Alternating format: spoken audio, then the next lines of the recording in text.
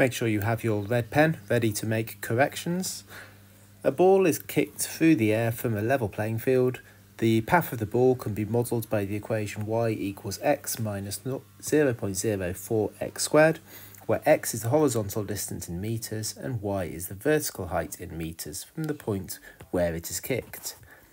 Part A finds the horizontal distance travelled by the ball from the point where it is kicked, which is here, to the point where it lands, which is here. At both of those points, we know that y is 0. So I can take my equation and make y 0. Which gives us this quadratic equation to solve. To solve that, I'm going to factorise x outside.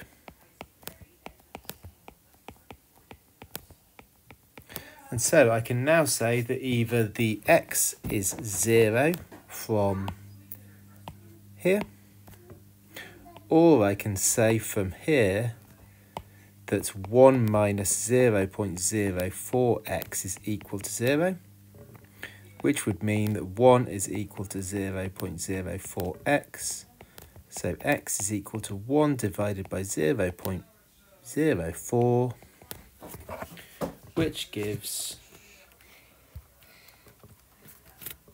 25. So this point here, we know x is 0.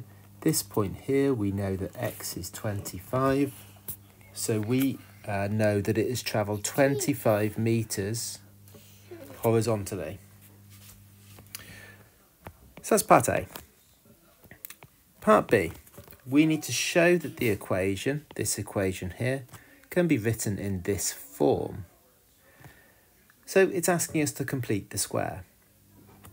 First thing I'm going to do is rewrite the equation with the minus 0.04x squared at the front.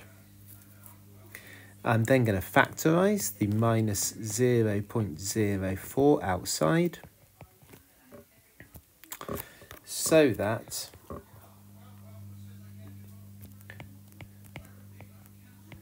I now just have the x squared term with a coefficient of 1. So just being super careful with your factorising.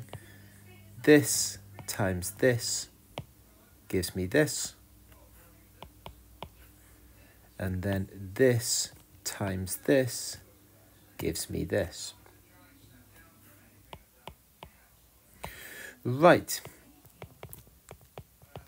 I'm now just going to copy down that coefficient at the front and those square brackets.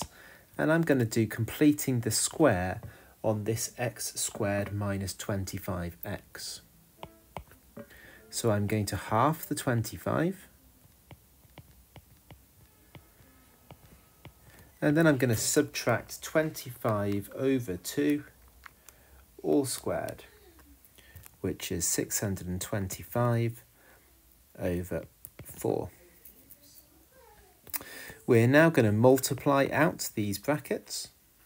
So I'm going to have the minus 0 0.04 multiplied by this.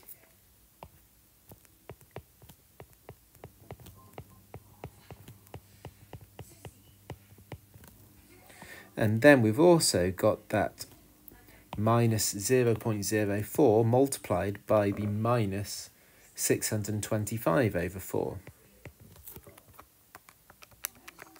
which gives a positive 6.25. And there we go, I have written it in the desired form, where the A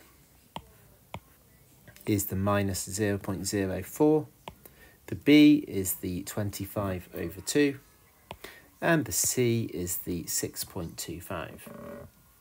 So that is my answer to part B.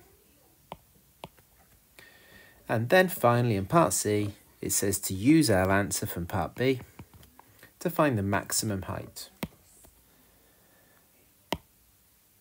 So we need to find the maximum height and we also need to find the horizontal distance where the maximum height occurs. So we need to find the maximum height and the horizontal distance. Well, the maximum height I know is going to be the 6.25 metres.